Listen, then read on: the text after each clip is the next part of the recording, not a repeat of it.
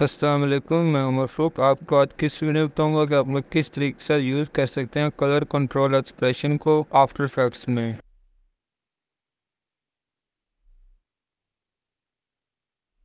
तो आप ये देख सकते हैं मैंने एक शेपलर क्रिएट की हुई है, जिसमें मुख्तलिफ़ कलर की जो है ना, जिसमें मुख्तलिफ़ तरह की शेप्स हैं स्टार भी है सर्कल भी है रेक्टेंगुलर भी है। और दूसरे नंबर पर अगर आप देखें तो एक टेक्स्ट लेयर है, जिसमें मैंने उमर फिर लिखा हुआ है और एक वाइट सॉलिड लेयर को मैंने बैकग्राउंड के तौर पर रखा हुआ है। तो मैं इस तरह करता हूँ कि एक एडजस्टमेंट लेयर को क्रिएट कर लेता हूँ। एडजस्टमेंट लेयर को क्रिएट करने के बाद effect control adjustment layer one में आ जाएँगे, ठीक है? और यहाँ पे ये जो टोगल व्यू है ना, इसको हमने लॉक कर देना है। और फिर इस तरह करना है कि एडजस्टमेंट लेयर को सिलेक्ट किया हुआ फैक्ट्स में आऊँगा। तो फैक्ट्स में मैं एक्सप्रेशन कंट्रोल्स के ऑप्शन में कलर कंट्रोल को सिलेक्ट करूँगा और फिर कलर कंट्रोल पर राइट क्लिक करके रीनेम को सिलेक्ट करूँगा और यहाँ पे मैं इसका नाम रख दूँगा शेप फिल और फिर अगर आप चाहें तो इस शेप फिल पे राइट क्लिक करके डुप्लीकेट कर सकते हैं और इसके अलावा आप लोग कंट्रोल डी के साथ भी इसको डुप्लीकेट कर सकते हैं।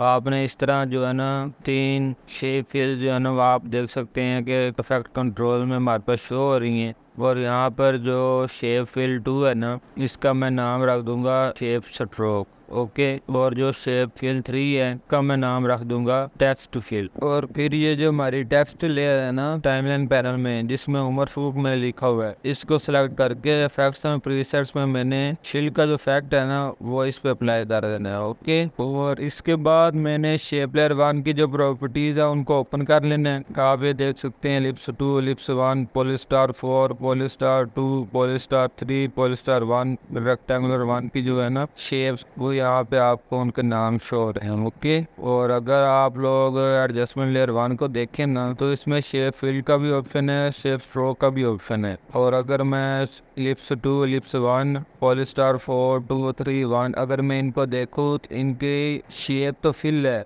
ठीक है? उसका तो कलर शो हो रहा है, लेकिन हमारे पास इनकी जो बार्डर है ना, या आउटलाइन कह लें या स्ट्रोक कह लें आप उसको, वो नहीं शो हो रहा। तो मैं इस तरह करूँगा कि लिप्स टू से लेके पॉलिस्टर वन तक सेलेक्ट करूँगा और जो स्ट्रोक है ना, उसको इंक्रीज करके।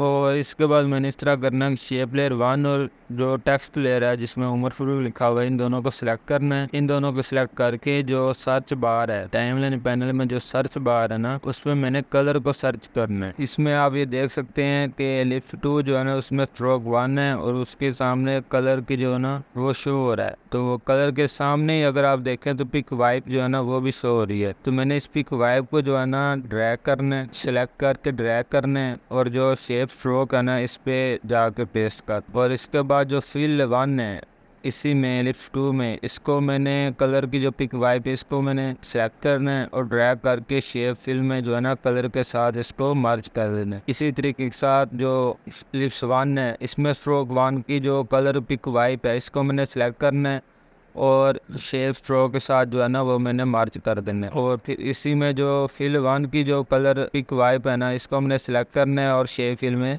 मार्च कर देना है। इसी तरह से स्ट्रोक को स्ट्रोक में और सिल को फिल में जो है ना, वो मैंने पिक वाइब को सिलेक्ट करके मर्ज करते जाना है, ठीक है?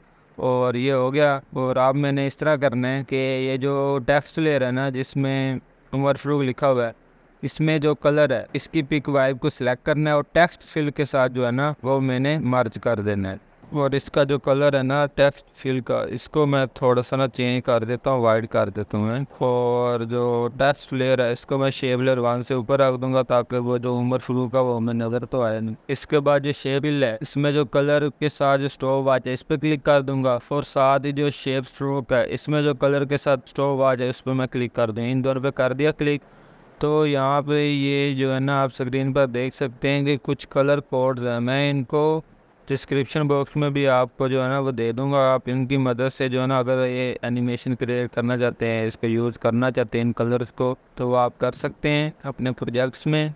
फ़िलहाल मैं यहाँ पे आपको दे रहा हूँ। और इन्हीं की मदद से जो है ना मैं ये कलर जो है ना वो चेंज करूँगा हर फ्रेम पे। फाइव फ्रेम पे जाकर ना फाइव फ्रेम के बाद वो इनका कलर चेंज करूँगा। तो अब मैं आ जाऊँगा फाइव फ्रेम पे और इसमें जो है ना शेप फिल जो है, इस पर मैं क्लिक करूँगा इसके कलर पे और यहाँ पे जो है ना वो कोड पेस्ट कर दूँगा। ठीक है? और ये ब्लू हो गया। इसके बाद शेप स्ट्रोक पे क्लिक करूँगा और यहाँ पे भी जो है ना वो कोड पेस्ट कर दूँगा। इसके बाद टेन फ्रेम पे आ जाऊँगा।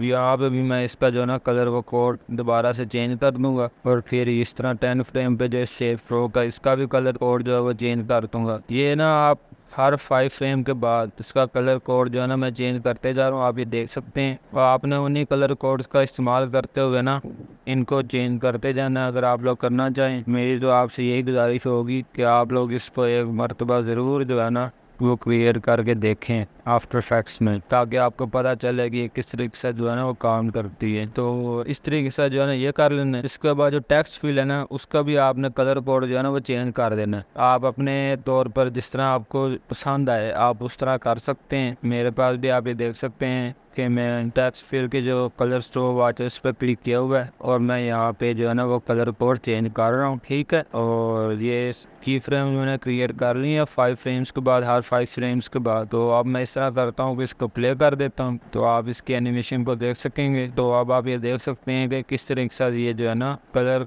कंट्रोल एक्सप्रेशन जो है ना, वो चेंज हो रहा है। तो इस तरीके के साथ आप लोग कलर कंट्रोल एक्सप्रेशन जो है ना, वो यूज़ कर सकते हैं आफ्टर इफेक्ट्स में। तो अगर आप लोगों को ये जो वीडियो है पसंद आई है तो मेरी आप लोग से गुजारिश है कि वीडियो को लाइक कर दीजिए। मेरे चैनल को सब्सक्राइब कर दीजिए। हाल के बेल आइकन को प्रेस कर दीजिए, ताकि आगे आने वाली जो वीडियोज़ हैं, उनका नोटिफिकेशन आपको बर वक्त मसूल हो सके। इसके अलावा अगर आप लोगों ने अभी तक मुझे फेसबुक पे ट्विटर इंस्टाग्राम टिकटॉक और थ्रेड्स पर फॉलो नहीं किया तो वहाँ पर फॉलो कीजिए। लिंक्स आपको डिस्क्रिप्शन बॉक्स में मिल जाएँगे। मिलते हैं अगले वीडियो में। उस वक्त तक के लिए अल्लाह हाफिज़।